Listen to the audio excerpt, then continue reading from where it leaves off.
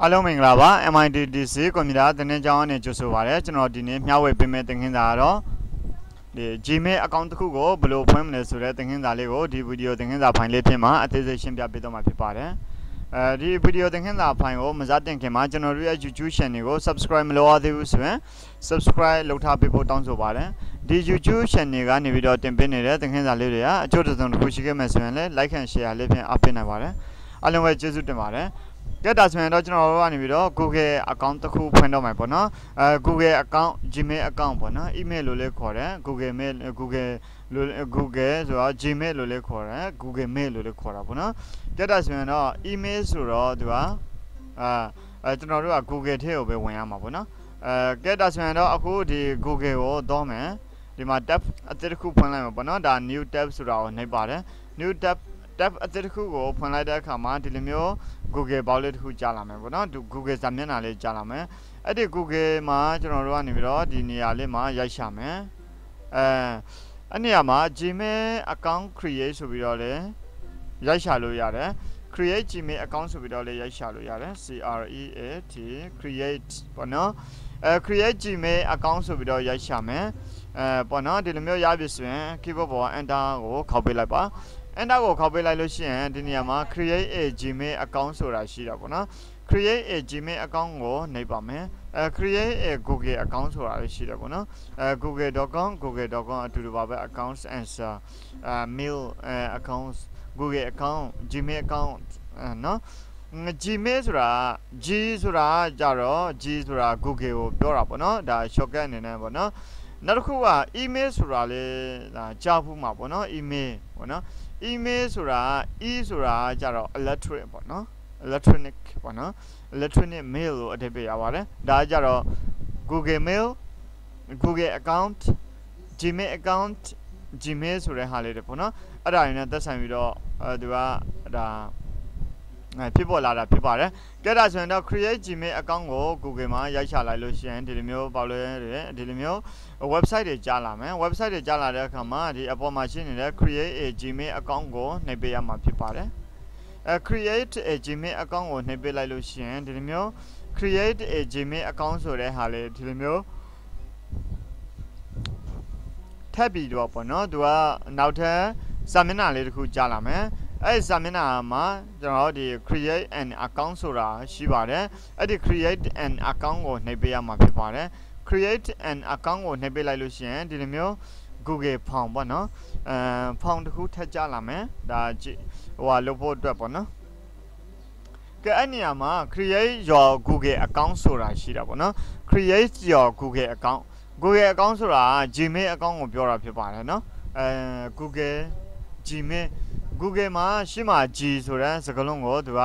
Gmail လို့ပဲသုံးလိုက်တာပေါ့နော် Gmail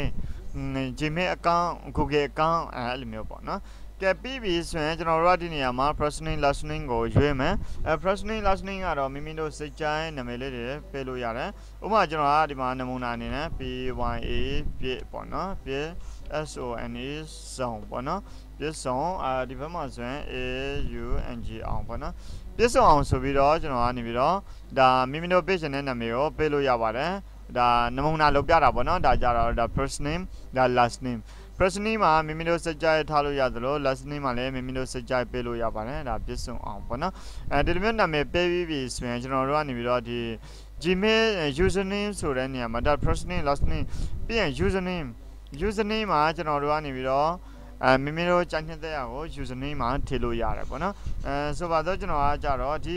ဒီ username ဆိုတဲ့နေရာမှာကြတော့သူကအကြီးနဲ့ရေးလို့မရဘူးသူက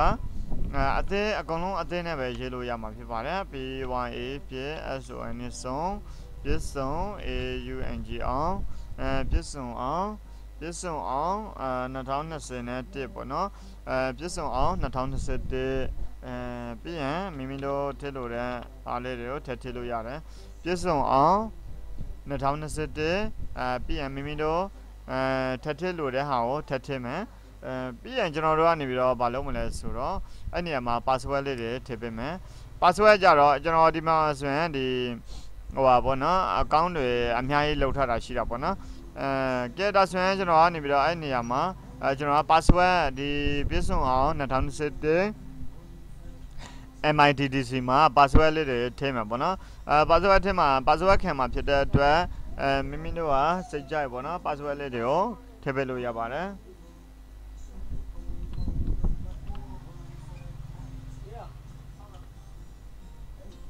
အဲဒီနေရာမှာဆိုရင်ကျွန်တော်တို့ကနေပြီးတော့အဲမိမိတို့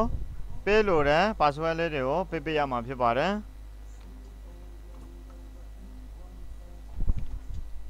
ကဲပြီးရင်ဒီဘက်မှာရေးထားတဲ့ password ကိုကျွန်တော်တို့ကနေပြီးတော့ control C copy ယူမယ်ပြီးရင်ဒီဘက်မှာ confirm အနေနဲ့ထည့်လိုက်မှာပေါ့နော်အဲကဲအဲ့လိုမျိုးသူက copy အနေနဲ့ပေးမထည့်ဘူးအဲပေးမထည့်ဘူးဆိုတော့ကျွန်တော်ကနေပြီးတော့မလုပ်မလဲသူကိုရိုက်တဲ့ဒီဘက်ကမှာအဲရေးထားတဲ့ password ကိုဒီဘက်မှာရေးထည့်ပေးရမှာပေါ့နော်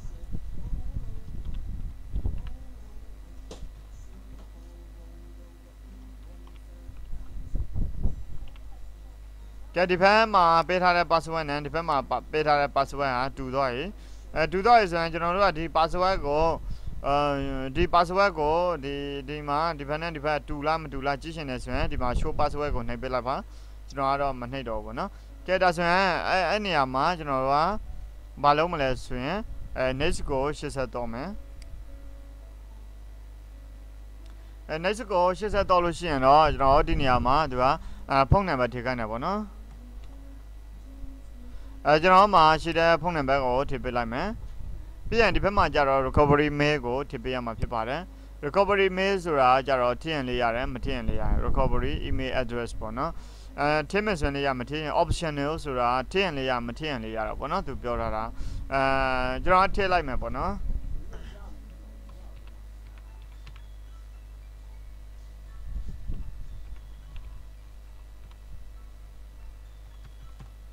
midc.yangon2020@gmail.com @gmail.com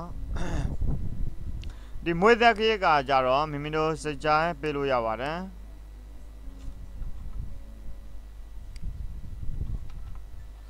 အဲဒီ gender ကြတော့ယောက်ျားလေးနာမည်မလို့သူကမေးလို့ပေးပေးရမှာဖြစ်ပါတယ်ပြီးပြီဆိုရင် sorry အဲပြီးပြီဆိုရင်ကျွန်တော်တို့ကဒီနေရာမှာ next ကိုနှိပ်ပေးရမှာဖြစ်ပါတယ်ကျွန်တော်တို့ကဒီ password တွေကိုဒီ website မှာ save လုပ်ထားရှင်လား save လုပ်ထားမယ်ဆိုရင် save ပေးလို့ရတယ်ပြီးရင်ကျွန်တော်တို့ကနေပြီးတော့သူ့ကိုဗာပြောမလဲဆိုတော့ဒီအဲ verify ပေါ့နော် your phone number အဲဒီဖုန်းနံပါတ်ကိုသူက verify လုပ်ခိုင်းတာပေါ့နော် verify လုပ်ခိုင်းတယ်ဆိုရင်ကျွန်တော်တို့ကနေပြီးတော့အဲ့နေရာမှာ send ဆိုပြီးတော့နှိပ်ပေးလိုက်ပါ အဲ send ဆိုတော့နှိပ်ပေးလိုက်တဲ့အခါမှာကျတော့သူကကျွန်တော်ရဲ့ဖုန်းထဲကိုသူက message လေးတွေဝင်လာမှာဖြစ်ပါတယ်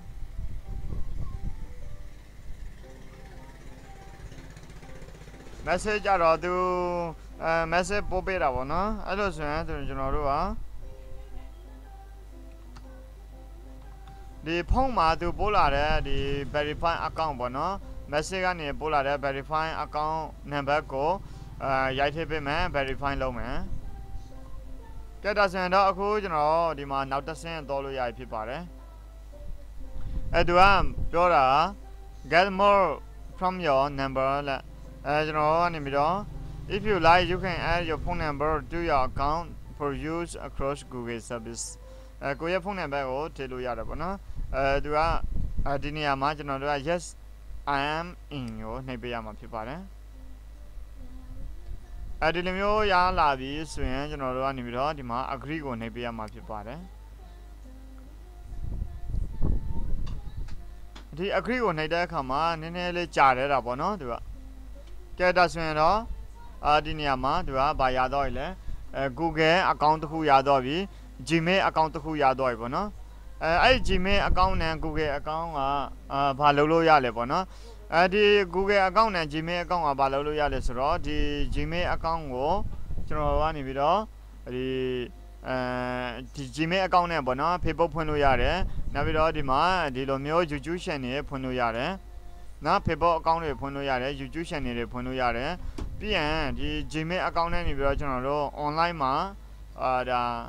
ဇက်ကားတွေတင်လို့ရတယ် link လုပ်ပြီးတော့ကျွန်တော်တို့တွေ ကိုမျှဝေချင်တဲ့ဟာကိုကိုရဲ့ Facebook မှာမျှဝေပေးလို့ရတယ်အဲနောက်ပြီးတော့အဲဒီနိုင်ငံဒီ website တွေမှာအလုပ်လုပ်မယ်ဆိုရင်လည်းဒီ Gmail account နဲ့နေပြီးတော့အလုပ်လုပ်လို့ရတယ်နောက်ပြီးတော့ဒီ Gmail account နဲ့ကျွန်တော်တို့ကနေပြီးတော့ပစ္စည်းတွေဝယ်လို့ရတယ်ပေါ့နော်အဲ Gmail account တစ်ခုကသူကအလုပ်တွေအများကြီးလုပ်ပေးတာဖြစ်ပါတယ်အဲ YouTube လေးဖွင့်လို့ရတယ် Facebook လေးဖွင့်လို့ရတယ်ဒီ Gmail account နဲ့ပေါ့နော်တယောက်နဲ့တယောက်စာပို့လို့ရတယ် ကျွန်တော်တို့လည်းဒီ Gmail account တစ်ခုရပြီဆိုရင်ကျွန်တော်တို့ကနေပြီးတော့သူကိုအဲစာပို့လို့ရတယ်ပေါ့နော်နိုင်ငံခြားတွေကိုစာပို့လို့ရတယ်တယောက်နဲ့တယောက်လည်းစာပို့လို့ရတယ်ကျွန်တော်မှဆိုရင်ဒီမှာဆိုရင် account တွေဒီဘက်မှာလည်း account တစ်ခုဒီဘက်မှာလည်း account တစ်ခုဒီဘက်မှာလည်း account တစ်ခုအဲဒီမှာလည်း account တစ်ခုပေါ့နော်ဒီမှာလည်း account တစ်ခုအခုနာကကျွန်တော်တို့ဒီပြည့်စုံအောင်ဆိုတဲ့ account ကကြတော့သူကမဝင်လာသေးဘူးလောလောဆယ်ပေါ့အော်တဲ့တဲ့ဒီမှာရနေပြီ အဲအခုဝင်ထားတာကြတော့ဒီပြစ်စုံဆိုတဲ့အကောင့်ပေါ့နော်ပြီးရင်ဒီဘက်မှာလည်းအကောင့်တွေရှိပါသေးတယ်နော်အများကြီးရှိသေးတယ်အဲလိုမျိုးပါပဲကျွန်တော်တို့အကောင့်တွေအများကြီးလုပ်ပြီးတော့ YouTube channel တွေအများကြီးဖွင့်လို့လေးရပါတယ်တက်တာဆိုရင်ဒီ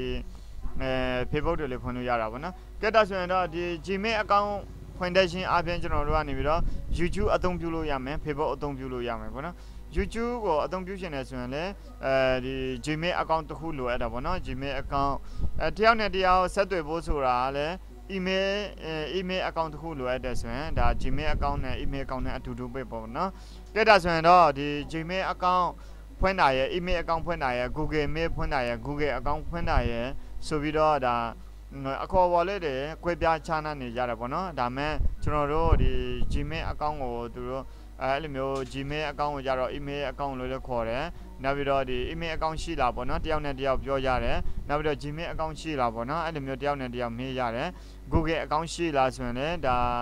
အခုကျွန်တော်တို့လုပ်တော့တဲ့ဟာကိုပြောတာဖြစ်ပါတယ် Google account လို့လည်းခေါ်တယ် Gmail account လို့လည်းခေါ်တယ်အဲ email account လို့လည်းခေါ်တာပေါ့နော်ဒါတော်တော်များများကိုအသုံးဝင်ပါတယ်ဒီ Gmail account Google Mail account email account เนาะ Gmail account ဆိုတာတွေကအရင်အသုံးဝင်ပါတယ်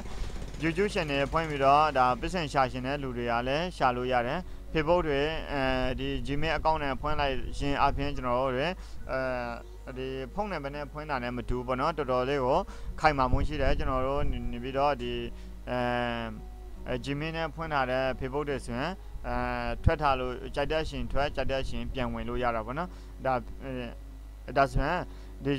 Gmail နဲ့ Gmail account ဖွင့်တဲ့ပြီးတော့ကျွန်တော်တို့တွေ Facebook account တွေကိုဘယ်လိုဒီ Gmail account နဲ့နေပြီးတော့ Facebook တွေဘယ်လိုဖွင့်လဲဆိုတဲ့သင်ခန်းစာလေးတွေကိုနောက်ထပ်ကျွန်တော်ကြုံရန်ကြုံသလိုမျိုးအချိန်ရရင်ရသလိုမျိုးသင်ခန်းစာလေးတင်ပေးတော့မှာဖြစ်ပါတယ်အားလုံးပဲကျေးဇူးတင်ပါတယ်ကျွန်တော်ကျွန်တော်တို့ရဲ့ YouTube channel ကို subscribe မလုပ်ရသေးဘူးဆိုရင် subscribe လုပ်ထားပေးဖို့တောင်းဆိုပါတယ်အဲအားလုံးပဲကျေးဇူးတင်ပါတယ်နောက်ထပ်ဗီဒီယိုသင်ခန်းစာဖိုင်မှာပြန်လည်ဆုံတွေ့ကြပါမယ်အားလုံး bye bye